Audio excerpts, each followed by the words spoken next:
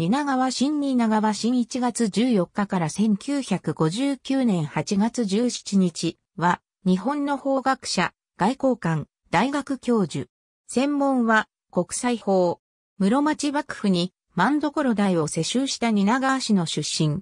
格闘家の武蔵、友兄弟は総孫にあたる。父は旗本、蜷川近方、母は、林田藩主竹部姓、厚の娘は子。旗本、小栗忠政の義理の甥にあたる。静岡県袖市で生まれる。生後すぐに、父が死去したため、母の縁を頼って東京に移り住む。1889年第一高等学校に入学。学友に渡辺千冬や鈴木梅太郎がいた。卒業後東京帝国大学の法科大学に進学し、有賀長尾の下で国際法を専攻した。卒業後、同大学大学院に進学。外交官を志していたが、読売新聞の臨時記者となる。日露戦争勃発にあたり、召集され、第一軍の国際法顧問、名古屋不慮収容所付け、樺太軍顧問として従軍する。戦後は、旅順外国人財産整理委員を経て、韓国の宮内府に6年間勤めた。1912年博士号を得て、フランスに留学し、この時に田中義和と親交を結んだ。帰国後同志社大学教授に就任し、国際法や外交史を教えたが、同大の内紛に巻き込まれ3年後に辞任する。後に、駒沢大学教授を務めた。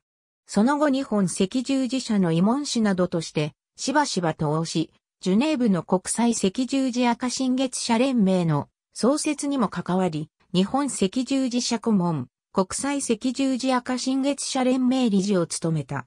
田中の援助を受け陸軍顧問として、ワシントン会議にも同行。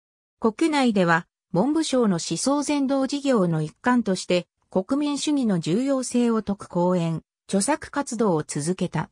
一方で、小栗忠政の検証にも力を注ぎ、生族、維新前後の清掃と、小栗光介之助の詩などを執筆している。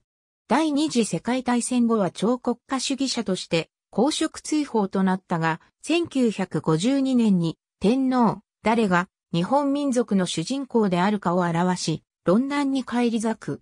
1959年、脳血栓のため、86歳で死去。蜷川は雑誌、経済往来1952年8月号に掲載した不慮相韓国民運動に対する提言等でソ連や中共による不慮の長期抑留を合法であるとして擁護し、抑留者の日本への早期帰還を求める各種運動を批判する論説を展開した。このことにかかる蜷川の論拠とそれに対する反論は以下の通り。さらに蜷川は、ただだ、ソ連と中共の領土内に留めまっている日本人に限り、日本に送還せよと日本人が叫ぶことは、どういう理由によるのであるか、再白リアから帰還した日本人はたくさんにある。